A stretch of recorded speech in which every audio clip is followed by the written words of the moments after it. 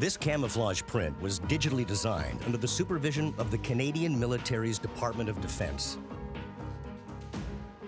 Then the material is brought here and tailored into a soldier's most versatile action wear, the camo jacket. CADPAT, which stands for Canadian Disruptive Pattern, is the latest in camouflage combat wear. It's made to look good while not being seen. Uniforms were originally made with bold colors, so soldiers were easy to identify in a cloud of artillery smoke. It also made them easy targets. By World War II, GIs were wearing camo, like the American frog skin and the British brushstroke pattern. The CADPAT jacket also camouflages the wearer at night by masking his infrared signature. A classified formula in the dye makes the jacket almost undetectable to night vision scopes. It takes 54 individual pieces of rugged textile to form the jacket, and it will be worn from basic training to the combat zone.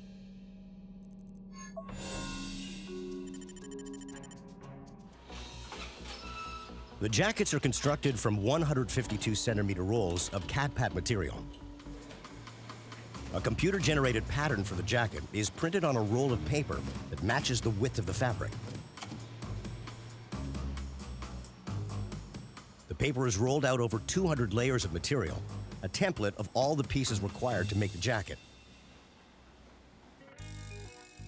A razor-sharp blade cuts through all 200 layers at the same time. The pattern's been laid out to maximize the material, so there's very little waste. The 54 individual pieces are ready to be assembled.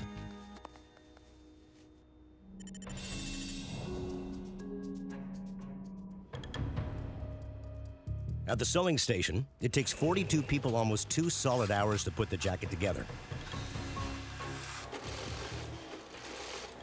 The jacket is sewn tough and built to last, with reinforced seams and strong plastic thread. There are CADPAT jackets still in active duty two decades after they were issued.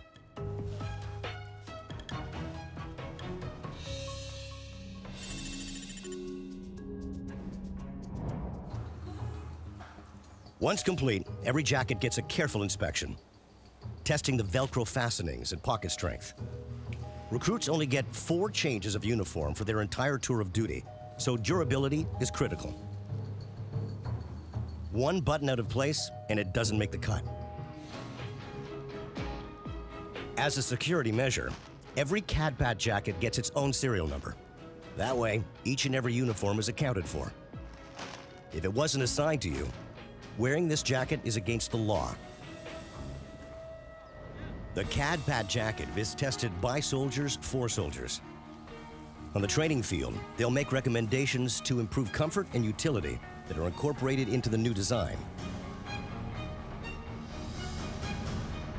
Vents along the back and elastic around the torso allow for easy movement. The high-color, indestructible buttons and non-reflective zippers seal the jacket around the wearer and insulate the soldier against the elements. Once it's issued to a recruit, the CADPAT jacket will do double duty as training gear and combat uniform. Whether they're shipped out to Kosovo or Kandahar, the uniform will last for as long as the soldier's term of service. And that jacket won't just keep the soldier warm and dry, it'll help keep him alive.